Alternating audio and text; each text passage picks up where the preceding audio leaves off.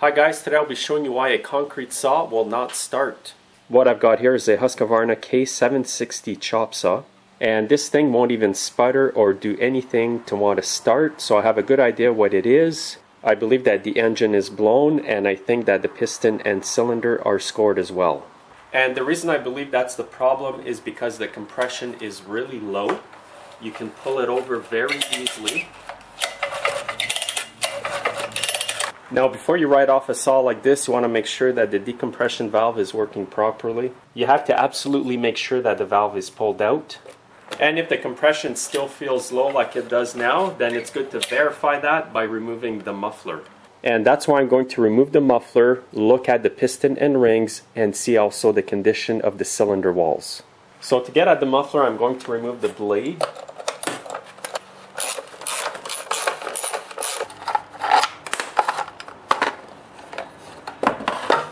and you need to remove the four T27 Torx screws that hold the recoil on.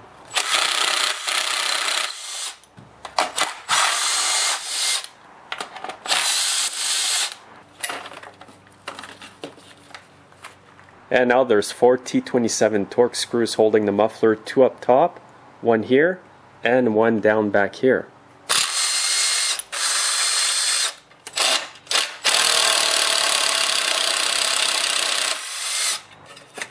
And the one screw that was supposed to be back here is actually missing.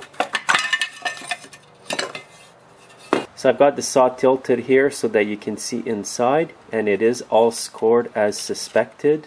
I'll just turn the flywheel so you can see the whole piston there.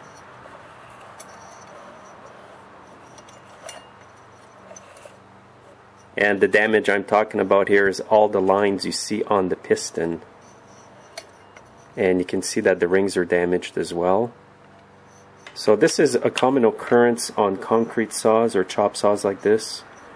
This may usually be caused by not replacing or cleaning the filters as often as you should. It can also be caused by not having enough oil in your fuel. And another thing that can cause this is overheating. Now it is a bit hard to show you inside the cylinder walls because of lighting issues, but if you can see in there, there is deep scoring at the back of the cylinder on the carburetor side. So the only way to really repair this properly is to replace the cylinder, piston, and the rings. However, you do need to check to make sure that your crank bearings are still good before you do that. And this saw here will never start with a scored piston and rings like that because the compression is way too low. Now I took the cover off here to show you the air filter. As you can see it was highly due to be replaced, but at this time it's a bit too late.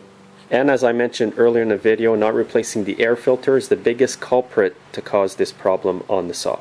So at this point, I would highly discourage somebody from repairing this saw. If you're in the business, you're just better off to go buy a new ones sometimes.